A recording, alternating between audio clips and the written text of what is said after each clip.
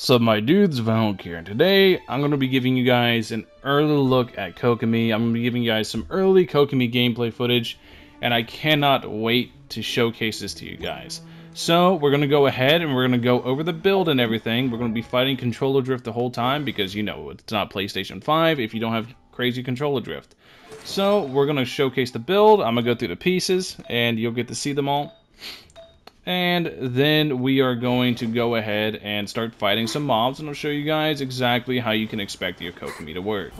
Alright, and now here we have the mobs. You can see exactly how Kokomi is going to work. You use your skill, you go ahead and you start just normal attacking everything. And look at this crazy electrocharge damage that she's able to do.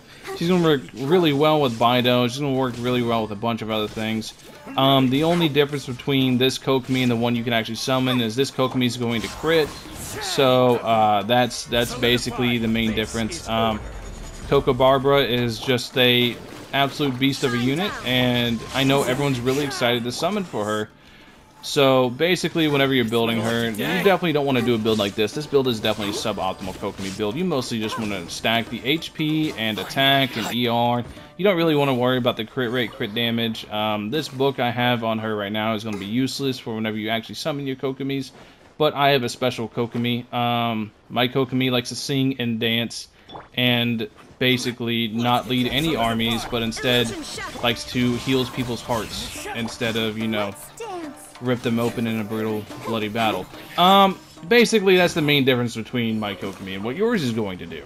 So, hopefully, my little Kokomi is a good showcase for you guys, and you guys are getting really excited for your Kokomi. And also, now to the commenter who has asked for a Shimenawa Barbara for about 80 videos in a row now. Hopefully, your dreams are come true. Anyways, thank you guys for watching as always. Let me know what you guys think in the comment section below. Are you guys hyped for Kokomi? I know this is a little meme. This is pretty much a little funny meme. I did the same thing for Yoimiya, uh, but let me know if you guys are actually really excited for Kokomi. Genuinely curious to see how many people want her. Other than that, thank you guys for watching as always. I'll catch you guys in the next one. Peace.